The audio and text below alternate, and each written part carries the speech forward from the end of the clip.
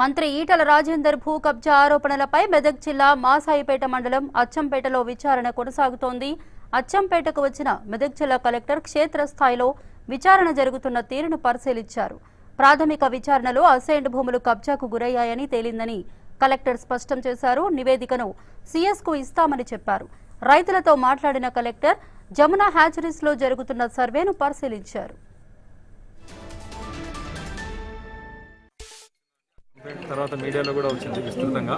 దానికి అగనెస్ట్గా మనం ఎంక్వైరీ చేస్తున్నాము revenue revenue teams as well as vigilance teams. సుమారుగా మనకు ఖచ్చితంగా అసైన్ ల్యాండ్స్ అయితే దీంట్లో ఎంక్రోచ్మెంట్స్ అయినాయి. అసైన్ ల్యాండ్స్ ఇల్లీగల్గా కబ్జా చేసిన మాట వాస్తవం అని మన ప్రిలిమినరీ ఎంక్వైరీ జరిగింది. ఇప్పుడు ఫీల్డ్లో కూడా వెళ్ళి ఎంక్వైరీ చేసిన తర్వాత ఫైనల్గా రిపోర్టింగ్ ఒక రెండు మూడు గంటల్లో ఇవ్వడం. చెప్తాం అది ఎంక్వైరీ వెనక్కి మరోవైపు విజిలెన్స్ డీజీ పూర్ణచంద్రరావు కూడా అచ్చంపేట వచ్చారు. అసైన్డ్ భూముల కబ్జాకు సంబంధించి ఆయన విచారణను స్వయంగా పరిశీలిస్తున్నారు.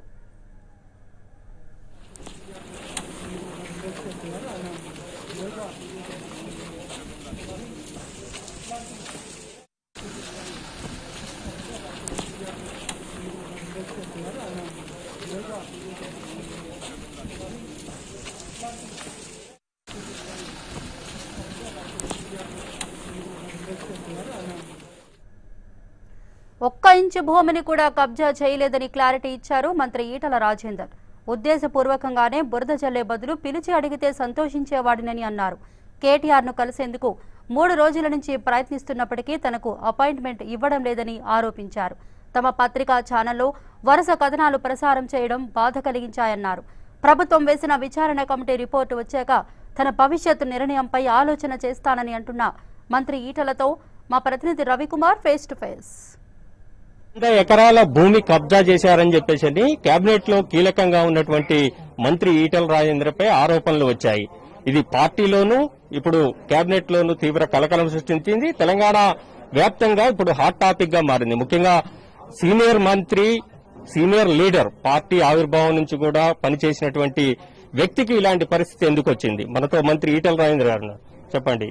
ఏంటి ఇంత ఆరోపణ రావటానికి ముఖ్యంగా కేబినెట్లో మీరు కీలకంగా ఉన్నారు? ఇది వంద ఎకరాలు భూమి పూర్తి స్థాయిలో అసైన్డ్ భూములు లాక్కున్నారు అనే ఆరోపణలు వచ్చింది. నిన్న ప్రెస్ మీట్లో పెట్టి చెప్పినప్పటికీ అసలు ఇది ఇందులో ఇంటర్నల్గా ఏం జరిగిందని చెప్పేసి మీరు అభిప్రాయపడుతున్నారు. నేను హ్యాచరీ పెట్టాలని రెండు వేల పదహారులో ఆ ఊర్లో ఒక యాభై ఎకరాల ల్యాండ్ కొనుక్కున్నాను నేను. కొనుక్కొని ఒక వంద కోట్ల రూపాయలు లోన్ తీసుకొని నేను అది కట్టుకున్నాను కట్టుకుంటున్న తం- సందర్భంలో మాకు ఇంకా ఎక్స్పాన్షన్ చేయాల్సిన అక్కర ఉన్నది. దానికి ఇంకా రెడీ చేయాల్సిన అక్కర ఉంటే మేము మాకు స్కోప్ లేదు. నేను ఆర్థిక మంత్రిగా ఐదేళ్ళు నేను చూసిన ఇండస్ట్రీస్ పెడుతున్నప్పుడు వాళ్ళకు ఇండస్ట్రియల్ డిపార్ట్మెంట్ రకరకాల సపోర్ట్ చేస్తుంది మాకు ఆ ఎరువు పోసుకోవడానికి దాని దీనికి కొ- జాగ్ కావాలంటే ప్రభుత్వాన్ని అడిగిన నేను టీఎస్ఐఐసిని అడిగిన మాకు కొంత ల్యాండ్ కావాలని అంటే ఉంటే ఇస్తాం సార్ అని. అక్కడ లేదు. ఓన్లీ అసైన్మెంట్ భూములు మాత్రమే నేను పోయి టీఎస్ అడిగినా అడిగిన తర్వాత నరసింహరావు గారిని అడిగిన సరే ఇట్లా అసైన్మెంట్ భూములు ఉన్నాయి. మరి వాళ్ళకు రూపాయి పనికొస్తలేదు. అది వాళ్ళు మాకు ఎందుకు పనికిరాని భూములు ఇచ్చారని చెప్పి అంటున్నారు. వాళ్ళు ఏం చేయాలని చెప్పడితే వాళ్ళు స్వచ్ఛందంగా కనుక సరెండర్ చేస్తే దాన్ని మన గవర్నమెంట్ మన టీఎస్ ఐఐసికి ఇచ్చి మళ్ళీ దాన్ని ఎవరికన్నా ధరకు ఫ్రీగా ధరకు ఇవ్వచ్చు అని చెప్పి చెప్పిండు. నేను అట్లనే వచ్చినటువంటి రైతులు మరి మీరు ప్రభుత్వానికి ఎవరైతే ఇచ్చిందో మీకు మాకు అక్కర్లేదని చెప్పి మీరు సరెండర్ చేస్తే కనుక అది గవర్నమెంట్ తీసేసుకొని చేస్తారట అని చెప్పి అట్లా చేసిన. అయినా ఒక ఎకరం కూడా ఇంత ఇప్పటిదాకా మాకు రాలే వస్తా ఎకరం కూడా రాలే. మేము ఏ ల్యాండ్ అయితే కొనుక్కున్నామో ప్రభుత్వం నుంచి కొన్నారా? భూమిని అసైన్డ్ భూమి? ప్రభుత్వం కొనలే ఇంకా. ప్రభుత్వానికి సరెండర్ చేసిన వాళ్ళు. అంతే తప్ప ఇంకా ట్రాన్సాక్షన్ జరగలే. ఓకే. దానికి మొత్తం అసైన్ భూములన్నీ కూడా కబ్జా పెట్టిండని దాన్ని షెడ్లు కట్టిండని ఒక్క ఎకరంలోని షెడ్లు కట్టినా కూడా కూలగొట్టమంటున్నాను నేను. ముఖ్యంగా ఈ ఎపిసోడ్ పై ఎమ్మటే సీఎం స్పందించి వెంటనే విచారణకు ఆదేశించడం జరిగింది. పొద్దున్నే రంగంలోకి దిగారు. అచ్చంపేట గ్రామంలో పూర్తి స్థాయిలో ఎంక్వైరీ కార్యక్రమం కూడా జరుగుతుంది. అక్కడ ఉన్నటువంటి ప్రజలు మా భూములు పదివేలకు ఐదు వేలకు తీసుకొని గుంజుకున్నారనే ఆరోపణలు కూడా చేస్తున్నటువంటి పరిస్థితి ఉన్నది. స్క్రిప్ట్ రాసిచ్చి కొంతమంది వ్యక్తులను సెలెక్ట్ చేసి మాట్లాడిస్తున్న మాటలు తప్ప నేను అడుగుతున్నా అక్కడ మూడు గ్రామాలు ఉన్నాయి మాసాయిపేట అచ్చంపేట ఇంకొక అక్కింపేట. ఆ గ్రామాల సర్పంచ్లు అడగండి ప్రజలను అడగండి. నిజంగా ఆ దౌర్జన్యం చేస్తే వచ్చే రోజులు అండి యాభై ఎకరాల భూమిని మేము కొనుక్కున్నాం. ఆనాడు ఆరు లక్షల ఎకరం చొప్పున పది లక్షల ఎకరం చొప్పున కొనుక్కున్నాం. కొనుక్కున్న భూమిని ఎట్లా ఆక్రమించుకుంటారండి?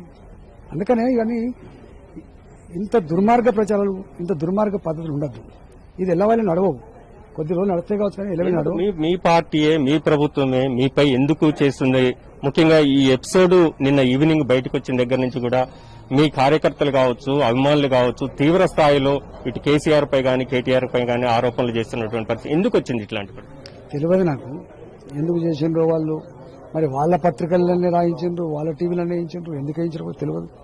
కనీసం ఒక నాలుగు పిలిచి ఇట్లా మీ మీద కాంప్లైంట్ వచ్చింది మీ ఎక్స్ప్లెనేషన్ ఏందని చెప్పి అడగాలి. జనరల్గా మాకు మా సర్పంచ్ మీద కాంప్లైంట్ ఇస్తారు. మా ఎంపీటీసీ మీద కాంప్లైంట్ ఇస్తారు. నా మీ సర్పంచ్ గారు మా భూమిని గుంజుకున్నానో లేకపోతే మమ్మల్ని ఇబ్బంది పెడుతున్నా ఇస్తే ఏం సంగతి అని చెప్పి అడుగుతాను సర్పంచ్. కానీ నేను ఒక మంత్రిని మనం అడగాలి నన్ను. అడగకపోయినప్పటికీ కూడా నేను ట్రై చేసిన. మా కేటీఆర్ గారికి నిన్న మొన్న అంత మూడు రోజులు వరుస పెట్టి ఫోన్ చేసిన నేను. ఏం సంగతి ఏదో నడుస్తుందట మొత్తం పోతుందట అని ట్రై చేస్తే ఆయన అందుబాటు రాలేదు అలా పిఏ మాట్లాడిస్తానని కూడా మాకు అందుబాటు రాలేదు. మరి ఎందుకు వచ్చిందో వాళ్ళు తేల్చాలి. నేను ఒకటే ఈ సందర్భంగా విజ్ఞప్తి ఏం చేస్తున్నానంటే ఈ రాష్ట్రంలో ఉన్నటువంటి అన్ని పార్టీలను ఈ రాష్ట్రంలో ఉన్నటువంటి ఫ్యా- ఫ్యాక్ట్ ఫైండింగ్ కమిటీస్ని స్వచ్ఛందంగా మీరు పోయి ఎంక్వైరీ చేయండి. తప్పు ఉంటే బాధ్యత నాది. కూలగొట్టమంటున్నాను నేను. కనుక తప్పు చేస్తే నా షెడ్లు వంద కోట్ల రూపాయలు కావచ్చు. కూలగొట్టమంటున్నాను మీరు రెండోసారి మంత్రి పదవి చేపట్టిన తర్వాత అంటే వన్ ఇయర్ గ్యాప్ మీకోసమే పెట్టారు. వన్ ఇయర్ తర్వాత పోర్ట్ఫోలియోలో మీకు స్థానం కల్పించారు. అప్పటి నుంచి కూడా తీవ్రమైనటువంటి గ్యాప్ ఉన్నది. ఇటు కేసీఆర్ గాని కేటీఆర్ గాని మీకు గ్యాప్ ఉన్నది. అది క్రమంగా బలపడి ఈ రూపంలో దాల్చింది అనేది పార్టీలో చర్చ జరుగుతున్నది. తెలియదు గంట నాకు అంత సుదీర్ఘంగా ఆలోచించాలి అంటే నేను ఏమంటున్నా ముఖ్యమంత్రి గారు ఎప్పుడు అనుకుంటే అప్పుడు విశ్వాసం లేకపోతే దించేయచ్చు మంత్రిని. మంత్రివర్గ సాచలను ఎవరు పెట్టుకోవాలనో ముఖ్యమంత్రి గారి యొక్క సర్వాధికారం అది. సపోజ్ ఇష్టం లేదు తీసేసుకోవచ్చు పెద్ద ఏముంటుంది చెప్పండి. ముఖ్యమంత్రి గారికి మంత్రి పదవి ఇచ్చేటువంటి అధికారం ఉంటుంది. ప్రజలకు ఓట్లేసి ఎమ్మెల్యే పదవి ఇచ్చే అధికారం ఉంటుంది తప్ప ఇలా మంత్రి పదవి ఇచ్చే అధికారం తప్పకుండా ముఖ్యమంత్రి గారికి ఉంటుంది. వారు ఎప్పుడంటప్పుడు తీసేయచ్చు ఎప్పుడంటప్పుడు పిలిచి ఇట్లా ఇట్లా జరుగుతుందని చెప్పి హెచ్చరించవచ్చు లేకపోతే రాజీనామా కొరవచ్చు తప్పేం కాదు. మీకు సీఎం కేసీఆర్ అంటే ఉద్యమ కాలం నుంచి కూడా కేసీఆర్ గారితో బాగా సాన్నిహిత్యం ఉన్నది కలిసి పనిచేసినటువంటి పరిస్థితి ఉన్నది. ఎప్పుడైతే తెలంగాణ ఆవిర్భావం తర్వాత పరిస్థితులు అంతా కూడా తారుమారయ్యాయని ముఖ్యంగా యువనాయకత్వం అనేది అరంగేట్రం అవుతున్నటువంటి క్రమంలో మీకు పార్టీలో పసకట్లేదు కేబినెట్లో పసకట్లేదు అనే చర్చ కూడా బయట జరుగుతున్నటువంటి పరిస్థితి. తప్పు అదంతా. వారు ముఖ్యమంత్రి గారు ఉన్నా వారి కుమారుడు కేటీఆర్ గారు ముఖ్యమంత్రి ఉన్నా పెద్ద మాకు ఫరక్ పడేదేం లేదు. నేనే స్వయంగా మనం చెప్పిన ఇక్కడ ఇదే వేదిక నుంచి చెప్పిన. ముఖ్యమంత్రి గారు కేటీఆర్ అవుతారట కదా ఊహాగాలు అసలు ఊహాగాలు లేదని బాధ్యత అవుతాడని చెప్పిన నేను.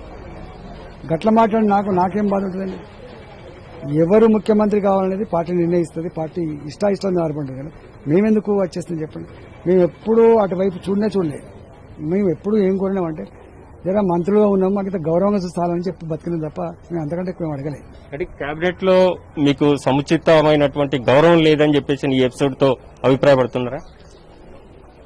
గౌరవం అగౌరవం గురించి నేను మాట్లాడుతున్నాను కానీ అంటే ఇంత కాడికి వచ్చిన తర్వాత ఇష్యూ అనేది ఆ, తేటతెల్లం అవుతున్నది. ఓపెన్గా మీరు ఎట్లా ఉన్నది మీ మనసులో? ఇప్పుడు మా వాళ్ళందరూ వచ్చిండ్రు. నేను ఒక్కని కాదు కదా.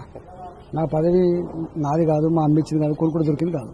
మా వాళ్ళందరూ ఉన్నారు. మా వాళ్ళతో విచారణ చేస్తా. అసలు ఏమవుతుంది ఏం పోతుందో మా వాళ్ళతో షేర్ చేసుకుంటాం. ముఖ్యంగా స్టేజీలపై ఈటల రాజేందర్ చేసినటువంటి ప్రతి వ్యాఖ్య ఈ రోజు ఇలాంటి పరిస్థితికి వచ్చింది అనేది కూడా చర్చ జరుగుతున్నట్టు. నేను మాట్లాడింది ఏమైనా తప్పు ఉందా అండి? వడ్ల కొనుగోలు సెంటర్లు ఉండాలి వడ్లు కొనాలని తప్ప అదేమన్నా?